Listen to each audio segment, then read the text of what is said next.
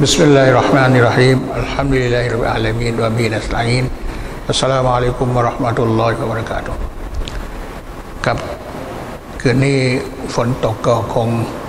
มากันไม่ไม่ไม่ครบนะครับ แต่อย่างไรก็ตามเอ่อเป็นที่น่าเสียดายนะครับ ในคืนนี้ถ้าใครไม่ได้ฟังเรื่องของการทำขีตาน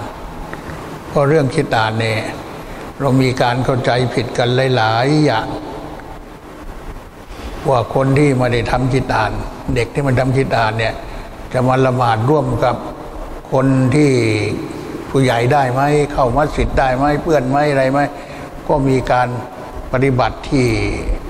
ที่มีปัญหากันมาโดยตลอดฉะนั้นในคืนนี้ผมก็จะบอกเข้าๆไปสักสองสามประเด็น ส่วนรายละเอียดอะไรอื่นนั้นก็ก็ไว้โอกาสหน้านะครับ ครับพี่น้องทั้งหลาย ก็อยากจะทำความเข้าใจว่า ผู้ปกครองที่ได้ลูกมาแล้วจะเป็นหญิงเป็นชายก็ตาม เรื่องของการที่จะต้องปฏิบัติ มาโดยตลอดตั้งแต่เกิด เราก็ได้ได้รู้เรื่องกันมาแล้ว ตอนนี้มาถึงช่วงหนึ่ง ที่เป็นหน้าที่ของพ่อแม่ จะต้องจัดการให้กับลูกนะครับ ก็คือเรื่องการทำขีตานขีตานนี่เป็นภาษาอาหรับนะครับ ส่วนที่พวกเราจะเรียกกันก็คือมาโซยวี หรือพูดภาษาไทยกันแล้วก็เข้าแขกนะครับ อันนี้เรามาดูความเข้าใจกันว่าขีตานมันคืออะไรก่อน ภาษาอับตรงนี้ก็แปลว่า การคลิป หนังปลายอวัยวะเพศ ทั้ง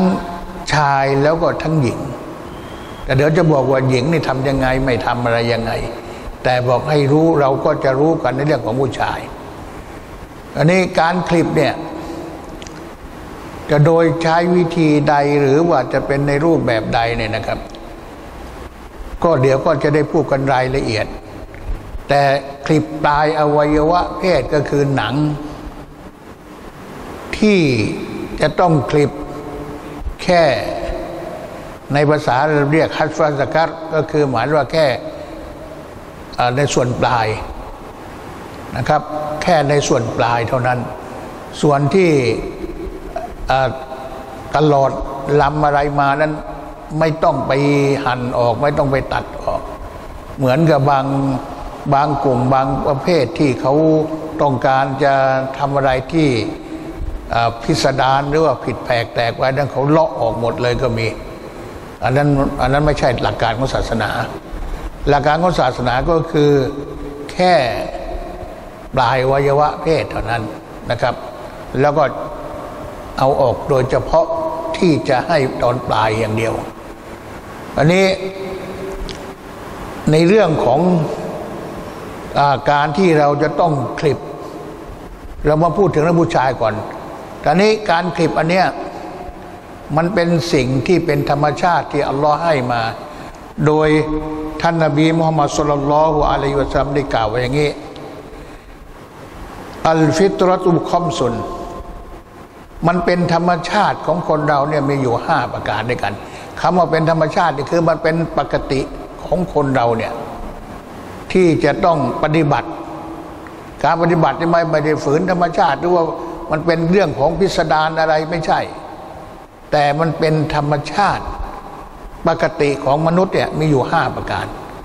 คือที่มนุษย์จะต้องทำไปให้มันเรียบร้อย ประการที่หนึ่งก็คืออัลคีตาน คือการคลิป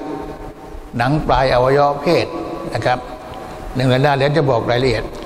สองวัลอิสติฮดาดก็คือการโกนขนใต้ร่มผ้า อันนี้ใช้โกนนะครับ ไม่ใช่ถอนสามวัตักลีมุลอาซอฟิรการตัดเล็บนะครับสี่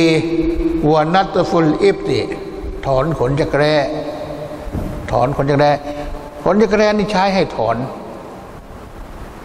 ผมว่าถ้าเราดูตามผิวเผินนะนะ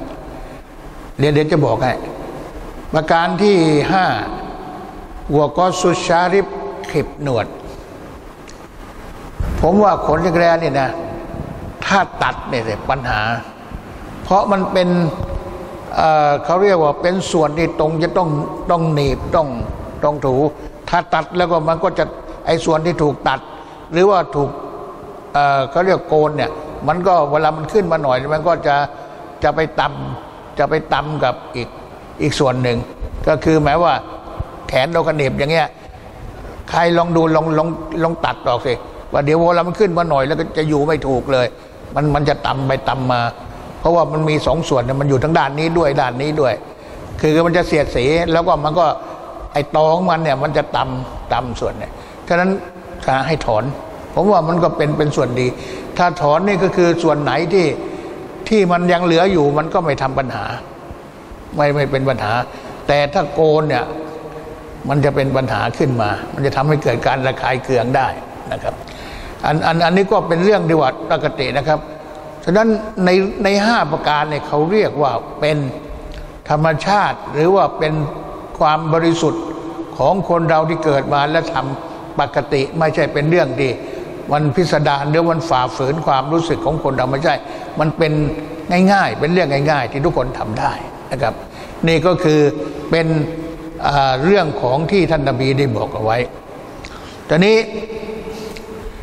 เราก็จะมาพูดถึงเรื่องคำว่าคิดอ่าน อันนี้คิดอ่านนี่ก็คือภาษาอาหรับเรารู้แล้ว ทำไมถึงมาเรียกคำว่ามาโซยาวียาวีนี่เป็นชาวเมืองยาวอก็คืออินโดนีเซียยาวอนะยาวา แต่นี่คนที่อยู่ตรงนั้นก็เรียกคนยาวี ก็คือทำไมว่าเวลาเด็กเนี่ยพอมาคลิปเนี่ยเรียกว่ามาโซยาวีเข้ากับพวกยาวี ก็เพราะอิสลามเนี่ย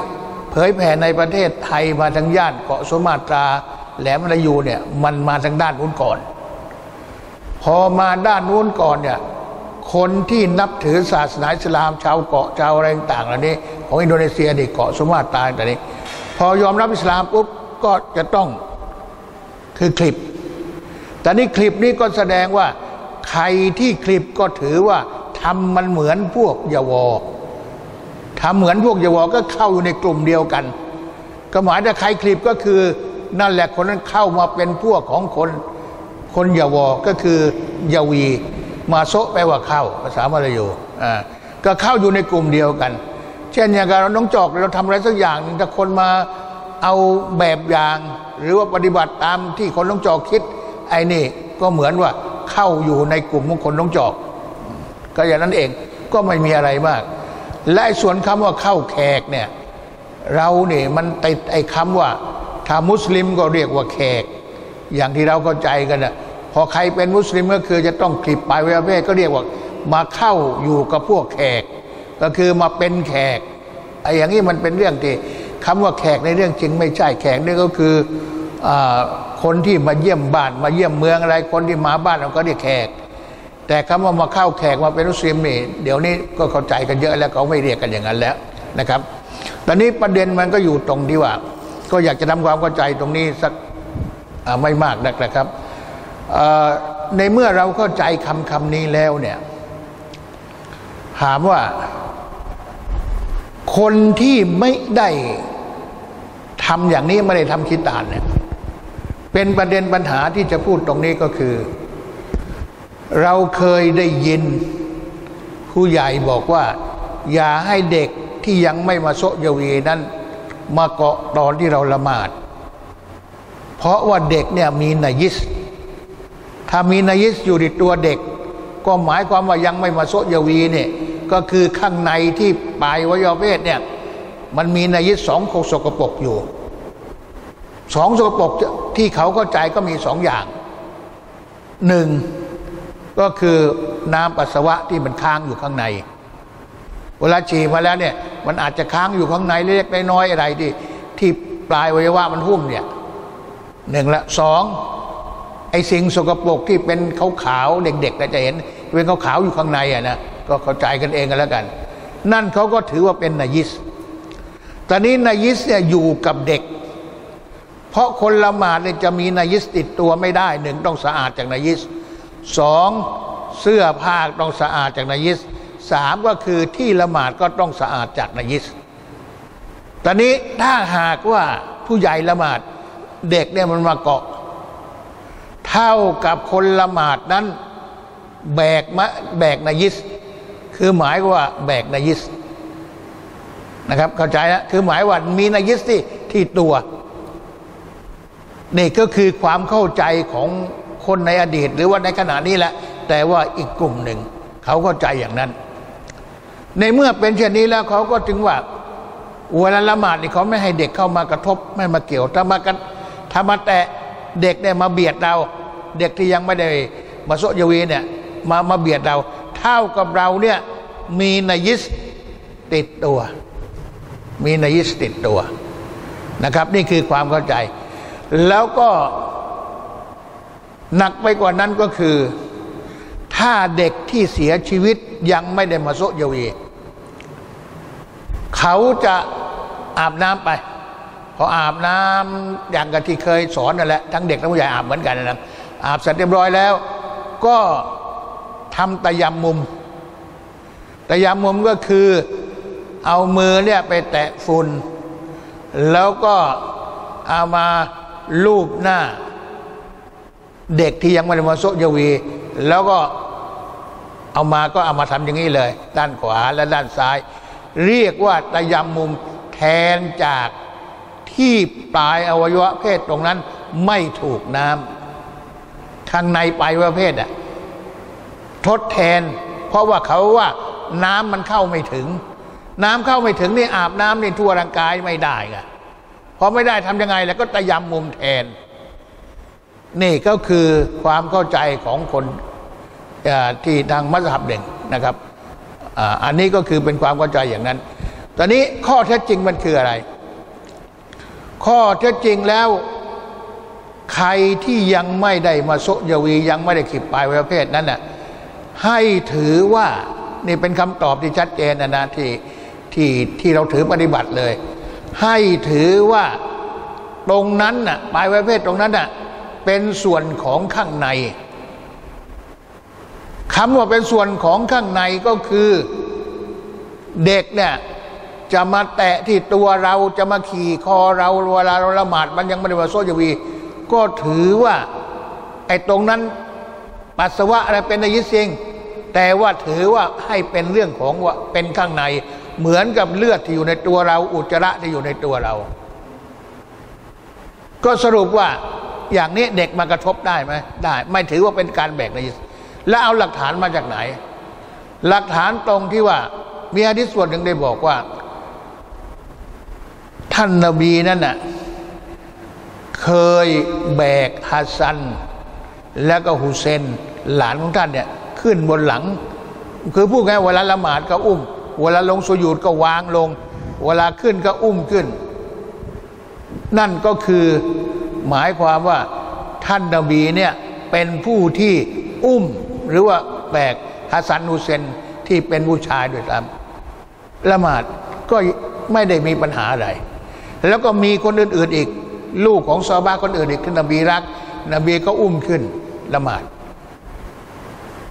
ก็ไม่ได้ถือว่าเป็นเรื่องที่จะต้องห้ามฉันตกลงว่า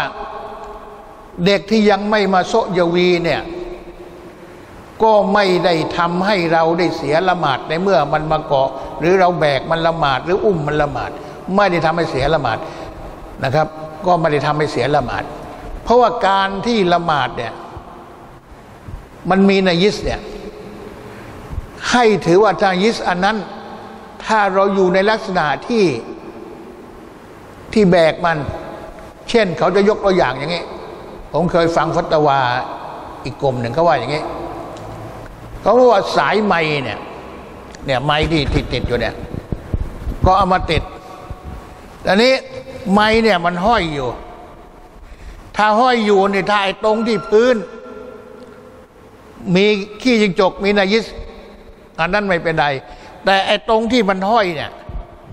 ไอ้ตรงที่มันห้อยเนี่ยมีขี้จิงจกติดอยู่ เนี่ยตรงสายตรงเนี้ยไม่ของมันยังมันที่ไม่ได้วางเนี่ยตกลงว่าถ้ามีนายิสอยู่ตรงเนี้ยถือว่าไม่ซ้อละหมาดเท่ากับแบกนายิสอ่าเท่าเท่ากับแบกนายิสไม่ซ้อละหมาดตอนนี้ไอ้นายิสที่มันอยู่ที่ตัวเราบนตัวเราเลือดก็ดีที่ ที่เราไปเชือดเนื้ออะไรเนี่ยเลือดมันไหลติดเอ่ออย่างนี้อย่างนี้มันไม่ซ้อเนี่ยมันชัดเจนอยู่แล้ว แต่เขาก็หาประเด็นในการที่จะให้เราเข้าใจนะ เช่นอย่างกับเราเอาสายไม้มาแล้วที่สายไม้เนี่ยมันเปื้อน ถ้ามันเปื้อนแล้วทำยังไง สายไม้มันเปื้อนก็ ถือว่าเราแบกนายิสอยู่ เพราะนายิสที่จะห้ามอยู่กับตัวเราตอนที่เราละหมาดเนี่ย ก็คือให้พิจารณาดูว่านายิสนั้นน่ะอยู่ในการที่เราไอ้นั่นมันเอาไว้มันอยู่บนเราหรือไม่ มันอยู่ติดเราหรือไม่ อย่างเสื้อขี้จก หรือว่าขี้นกอะไรเนี่ย มันติดอยู่ที่เสื้อ อันนี้ก็ถือว่าเราเราแบกนายิส แต่ตรงนี้มีปัญหาขัดแย้งกันอีก นักวิชาการในกลุ่มของซุนนะเนี่ย จะมีความเข้าใจว่า อุจจาระปัสสาวะของสัตว์ที่เรากินเนื้อมันได้ฟังให้ดีนะ ที่เรากินเนื้อหาร้านกินเนื้อมันได้เนี่ย เช่นอย่างวันนกก็ดีกระต่ายก็ดีเป็ดไก่ต่างๆเนี่ย ถือว่าไม่นยิส แต่ถ้าทางมัสยิดชาฟีเนี่ยถือว่า ขี้เป็ดขี้ไก่ อย่างนี้เป็นนยิส คือถ้ามีที่เสื้อผ้าละหมาดไม่ได้ต้องล้างเก็บนะอันนี้ตอนนี้ในทางปฏิบัติของเราเนี่ย เราดูอย่างนี้พี่น้องหลาย เราจะต้องมีช่องทางที่ชัดเจนก็คือ เราไม่ถือว่าเป็นนายิสแต่ถ้าหากว่าใครก็ตาม ตีนนี่เป็นเลอะขี้วัวขี้ควายที่เรากินกินมันได้เนี่ยนะ เขาเดินขึ้นมากันมัสยิดไหม เขามายืนละหมาดทั้งทั้งที่เท้าเนี่ยเปื้อนขี้วัวขี้ควายกันไหมถ้าใครลงเท้าเลอะขี้วัวขี้ควายมา แล้วมายืนละหมาดในกันนี่คนก็รับได้ไหมก็รับไม่ได้ ถ้าอย่างนั้นก็ล้างไงมันล้าง แต่ว่าถ้ามันเป็นในรูปแบบที่ว่าจะมาพูดกันตามหลักแล้ววันนยิสหรือไม่ อันนี้ก็ไม่ไม่นยิสสำหรับสัตว์ที่เรากินเนื้อมันได้ แต่ว่ามันเป็นสิ่งสกปรกที่ตามสังคมเขาเข้าใจ อันนี้เราก็สามารถที่จะล้างให้มันสะอาดได้ ผมว่าล้างอะไอ้นั่นกว่านะครับ ล้างให้มันสะอาดเพราะมันจะขึ้นมานี่ขี่ควายเต็มเท้าเลย แล้วมายืนละหมาดแล้วไปเถียงกับเขาอย่างนี้มันมันมันก็ไม่ถูกนะครับ นี่ก็คือประเด็นหนึ่ง ฉะนั้นประเด็นนี้ก็คงจะหมดปัญหาไปในเรื่องที่ว่า เราจะอุ้มเด็กละหมาด ได้หรือไม่ได้ และเราเนี่ยจะหมายความว่าจะต้องระยำมุมไหมถ้าเด็กมันเสียชีวิตไปยังไม่ได้มาโซเดียววีก็ไม่ไม่ต้องระยำมุมก็อาบน้ำทั่วไปปกตินะครับ แล้วก็จบแค่นั้นไม่ต้องไประยำมุมแทน อันนี้มันก็มีอีกประเด็นหนึ่งสำหรับสุภาพสตรีตอนนี้สำหรับสุภาพสตรีกับสำหรับชายเนี่ยนักวิชาการก็ได้บอกไว้ ที่มีข้อแตกต่างกัน มีนักวิชาการเขาก็ขัดแย้งกันหลายหลายกลุ่มว่า การทำคีตาเนี่ยเป็นวายิบหรือไม่ เป็นความจำเป็นหรือไม่ตอนนี้สรุปทั้งหมดแล้วเนี่ยถือว่าเป็นความจำเป็นจากตัวบทต่างๆ เป็นความจำเป็นสำหรับชาย แต่สำหรับหญิงนั้นควรปฏิบัติเท่านั้น คือไม่ถึงขั้นจำเป็น นี่สรุปจากคำตอบของของนักวิชาการเลยนะครับ อันนี้มันก็มีประเด็นอีกประเด็นหนึ่งว่า เราควรที่จะทำกันเวลาไหนนะครับ เราลองดูนะครับเรื่องศาสนาเนี่ยไม่ใช่ว่าเจาะจงไปเลยว่า กี่วันกี่วันกี่เดือนกี่ปี เพราะเรื่องอย่างนี้บางทีมันขึ้นอยู่กับความเหมาะสม มันขึ้นอยู่กับ การละเวลาที่ว่าคนที่จะทำกีตาร์เนี่ยเด็กจะทำกีตาร์เนี่ยมันอยู่ในสภาพอะไรอย่างไร อันนี้ทนาก็บอกก็นี้เรามาดูในประวัติศาสตร์นิดหนึ่งคนแรกที่ทำกีตาร์เนี่ยนะครับ คือที่ถูกตัดหนังหุ้มปลายวัยวะเพศเนี่ยนะครับ ได้แก่ท่านนาบีอิบรอฮิมอะลัยฮิสลามปรากฏว่าท่านนาบีอิบรอฮิมอะลัยฮิสลามเนี่ยมีรายงานว่า อัคตตานะวะวะอิบนุสมานีนท่านนบีอิบรอฮิมอะลัยฮิสสลามได้ทำคีตาน ตอนที่ท่านอายุ 80 ปี โอ้โห 80 ปีนะ ถ้าหากว่าอย่างในสมัยนี้เขาวิธีทำแบบโบราณก็จะใช้ไม้หนีบอะไรเงี้ยก็ยุ่งนะทุกท่านอายุ 80 ปีนะครับ แล้วก็ ลูกของท่านนะครับ ชื่ออิสหากทำขีตานตอนอายุเจ็ดวัน เออเห็นมันต่างกันต่างกันมากเลยซับอัตอายามเนี่ยเจ็ดวันเท่านั้น ส่วนท่านนาบีอิสมาอินอะลัยฮิสสลามทำขีตานตอนอายุสิบสามเห็นไหมคือที่ที่เขานำลักษณะอย่างนี้มาเพื่อให้รู้ว่าไอการทำขีตานเนี่ย มันก็ดูตามความเหมาะสมในการที่จะทำแต่ก็อย่างไรก็ตามในคำอธิบายตรงนี้บอกว่า จะเป็นเด็กหรือเป็นผู้ใหญ่ก็ตาม ก็ผู้ชายแล้วเนี่ยก็จำเป็นที่จะต้องทำขีตาน คือหนักไปทางว่าจำเป็นให้ทำขีตาน เพราะการทำขีตานเนี่ยมันมีประโยชน์มากมาย แล้วมันเป็นธรรมชาติฟิตรอ ที่ทุกคนเนี่ยควรที่จะต้องทำให้มันสำเร็จรุ่ล่วงไปนะครับ อันนี้อันนี้คือประเด็นหนึ่ง อันนี้คนที่เป็นมุสลิม ไม่ในฮะดิษนบีบอกเลย ไม่ว่าจะเล็กหรือจะใหญ่ไม่ว่าเด็กหรือว่าผู้ใหญ่ ก็ให้ทำกีตานเช่นเดียวกัน ต้องทำกีตาน ถึงแม้ว่าจะเป็นคนที่โตแล้วก็ตามนะครับ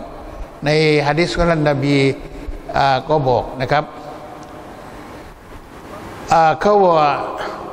การอัลสุลลอฮ์สุลลัลลอฮุอะลัยฮิสลามยะมุรุมันอัสลามะมินาริจาลีอายะขตาตินะท่านอัลสุลลอฮ์สุลลัลลอฮุอะลัยฮิสลามได้ใช้ให้คนที่ยอมรับอิสลามนั้น จากบรรดาผู้ชายทั้งหลาย ให้ทำคีตานนะครับ อันนี้ก็ชัดเจน แล้วก็ในอดิษอื่นบอกว่า ไม่ว่าจะเล็กหรือไม่ว่าจะโตก็ตาม ก็ให้ทำคีตานนะครับ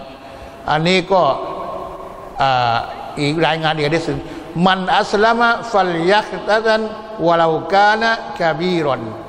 ผู้ใดที่ยอมรับอิสลามเขาจะต้องทำคิตานถึงแม้นว่าจะโตแล้วก็ตาม ก็มีอดิษชัดเจน จะโตแล้วก็ตามนะครับ เพราะนั้นคนที่ยอมรับอิสลาม ก็จะต้องทำคิตาน แต่ว่ามันมีนะ ตอนสมัยส่งคนไปนอกอะ คนที่ทำงานในซูในในมักกะเป็นดินารอมเนี่ยเขาได้รับแจ้งมาว่าต้องยอมรับอิสลามก่อน มันก็ยอมรับอิสลาม ท่านจุลาประเสริฐมหามัดรอให้มหุลลอเขาเล่าผมฟังผมนั่งคุยแกนานปรากฏว่ามาหาแก แกก็สอนในเรื่องกะลิมะเข้ายอมรับอิสลามเสร็จเรียบร้อย ก็แกก็ให้ไปทำกิตาน คือเข้ากะลิมาก่อนแล้วให้ไปทำกีตาทีหลังห้าคนมาถึงแกเนี่ยเป็นเขาเรียกคนนักเลงหน่อย ก็คือหมายความว่าเวลาคนที่นั้นมาแล้วแกก็สั่งให้มา พอไปคำกีตาเสร็จแล้วก็ให้มาแล้วให้มาหา มามาแค่ขอดูเลยห้าคน ปรากฏว่าโภกสรบันมาทุกคน เหลือสองคนไม่ทำมันเอาผ้าพันมาเฉยๆเอาผ้าพันมาเฉยๆสองคนตกลงไอ้ที่ทำจริงมาสามคนเนี่ยเราสรุปไปทำใหม่ วันหลังไม่ละวันหลังใครจะเป็นมุสลิมพระสั่งตัดก่อนเลยพระสั่งตัดก่อน แล้วก็ถึงจะยอมออกใบรับรองอิสลามให้ศาสนาอิสลามให้นี่ก็คือเป็นเรื่องหลอกในสมัยส่งคนไปทำงานสมัยก่อนเขาก็เจอกันอย่างนี้ ฉะนั้นนี่ก็คือประเด็นหนึ่ง จะเล็กหรือจะโต แต่ขอพูดนิดนึงส่วนรายละเอียดว่าจะทำกันยังไงอะไรยังไงรายละเอียดนั้น ก็จะพูดกันอีกครั้งหนึ่ง แต่มีคำถามคำถามหนึ่ง ถามอุลมาซูดีบอกว่า การที่เราทำคีตานให้กับเด็กเนี่ยและเราก็จัดงาน และจัดงานนี้ก็คือ จัดงานเหมือนเมาลิดนบี มีการกล่าวอะไรต่อไม่อะไรเหมือนเมาลิดนบี แล้วก็เลี้ยงอาหารด้วย แล้วก็จัดแบบเมาลิดนบี อย่างว่าเรานิยมทำไงคือหมายว่ามีอะไรต่ออะไรเวลามาโซยูวีทีก็มีมรหบาลอะไรต่างจะว่ายังไง อุลามาซาดีก็ตอบว่า ถือว่าเป็นบิดาทั้งการจัดฮัฟละคือจัดงานในการที่ ทำคีตานธรรมโซยวี แล้วก็ในเรื่องของการที่ว่าจะต้องอทำมัรบาลวันนบีเกิดอะไรต่างๆเหล่านั้น นี่ก็คือไม่ถูกต้อง แต่อุลามาซาอุดีคงจะไม่เคยเห็นในเมืองไทย เมืองไทยมากไปกว่านั้นที่เขาให้ขึ้นอะไรเขาเรียกอะไรปัญจาใช่ไหมผมก็ไอภาษาตรงเนี้ยเป็นภาษาอะไรที่ชัดเจนก็ก็ไม่รู้เหมือนกัน แต่บ้านเรานิยมทำ แล้วก็รูปแบบการทำเนี่ย เราสงสารเด็ก มันไม่ต่างอะไรกับแห่นาคบวชนาคมีโกนหัว แล้วก็มีใส่เครื่องประดับ ใส่เครื่องประดับเนี่ยสร้อยทองอะไรต่ออะไร มันก็ไม่ถูกอยู่แล้ว เด็กผู้ชายที่ใส่สร้อยทองเข็มขัดทองอะไรอะไร แต่งตัวอย่างลิเกหลงโรงอะแล้วยังกับไอ้นั่นอะ พอผลสุดท้ายแล้วก็แห่ขึ้นปัญจาแห่ขึ้นบรรจาเนี่ยแห่ไปนะครับ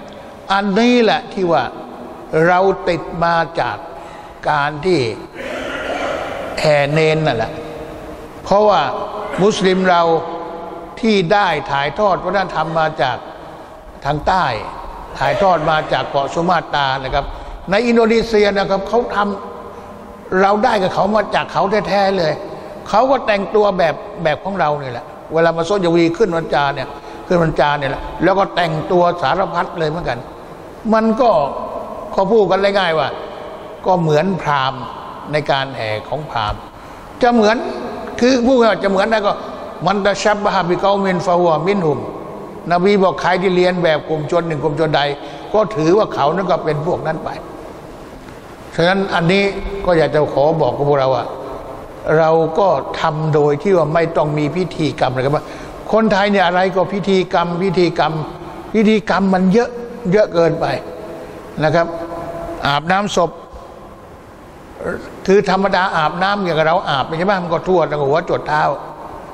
แล้วนี่อาบน้ำโดยการรดมืออย่างเดียวหน่อยหนึ่งหน่อยหนึ่งเนี่ยถามว่า แล้วมันทั่วร่างกายเหรอมีแต่คนอาบน้ำแค่นั้นพอเนี่ย เดินเดินไปชายคลองเอามือเอาน้ำรดมือหน่อยใช้ได้เนี่ยไม่ได้ แล้วก็เนี่ยเป็นปัญหาประเด็นใหญ่ทางใต้ ก็จังหวัดหนึ่งนะครับ ที่ประธานจังหวัดไปรถเองเลยตอนนี้เรื่องใหญ่โตเลยเนี่ยเห็นว่าจะลาออกข่าวว่างั้น ประธานกรรมการอิสลามประจำจังหวัด ไปรถน้ำที่มือเนี่ยของนายอำเภอ ท่านถึงเสียชีวิตก็ตอนนี้ประชาชนก็รับไม่ได้ มุสลิมทั่วไปก็รับไม่ได้ คือทำเกินกว่าที่ที่ควร เสียชีวิตเราก็ไปเยี่ยมญาติไปเยี่ยมอะไรตรงไหนเราทำได้เราก็ทำไหนทำไม่ได้ เราก็ไม่ทำแต่ก็เพื่อที่จะให้สอดคล้องกับเขา พวกเราเป็นอย่างเงี้ยเขาเรียกว่า แตงโมในเข่งทุเรียนกิ้งไปถูกเขา เราก็เจ็บ เวลาเขากิ้งมาถูกเรา เราก็เจ็บ เวลาทำของบ้านเราก็เผื่อเขาให้เหมือนเขา เวลาเราไปงานเขาเราก็ทำให้เหมือนเขาเผื่อเขา ก็สรุปแล้วเราได้อะไรไหมเสียอย่างเดียว เขามาเหมือนกับเราจัดงานอะ เวลาเราจัดงานเราก็เผื่อมีเหล้ามีเบียร์เผื่อคนอามาที่ไม่ใช่มุสลิม เวลาเราไปงานเขา เวลาเขาไม่เสิร์ฟเหล้าโอ้โต๊ะนี้ยังไม่ได้ มียกมือนผมไปงาน คือคือเขาจัดที่เขตเนี่ยครั้งหนึ่ง พวกเราแหละไป มีมุสลิมหลายคนก็เขาก็จัดให้เฉพาะมุสลิมเขาก็เว้นขวดเหล้าแล้วก็นอกนั้นก็มีขวดเหล้าหมด คนที่ไปกับเรานะมันยกมือเลย ขวดนี่ยังโต๊ะนี่ยังขาดเหล้ายังไม่มาดูมันเรากลับ มันยังไงล่ะมันเขาเว้นอุตส่าห์เว้นให้นะยังเรียกอีก สรุปแล้วว่า เขามางานเราเราก็ทำเหมือนเขา เวลาเราไปงานเขา เราก็ทำเหมือนเขา มันจะต่างอะไรกับแตงโมในเข่งทุเรียนเรานี่เป็นแตงโม เรากิ้งไปหาเขาเราก็เจ็บเสียหายกลับมา อยู่ๆแตงโมแออทุเรียนมันกิ้งมาหาเรา เราก็เจ็บสรุปแล้วเราเสียอย่างเดียว ฉะนั้นก็ขอฝากกับพวกเรานะครับว่าเรามีหลักเรามีจุดยืน ฉะนั้นเรื่องมาโซยาวีเนี่ยมีรายละเอียดที่จะต้องคุยกันต่อไปนะครับอินชาอัลลอฮ์มันมี คำถามาจากคนที่ถามผมมีหนังสือคำถามคำตอบเรื่องนี้หลายข้อที่จะมาอ่านให้พวกเราได้ฟังนะครับในโอกาสต่อไปนะครับก็คืนนี้ก็ขอฝากไปเป็นแค่นี้إن شاء الله เราคงจะได้คุยกันนะครับ ก็ขอเชิญอาจารย์นาอิมเนี่ยนะครับوبالله التوفيق والهداية السلام عليكم ورحمة الله وبركاته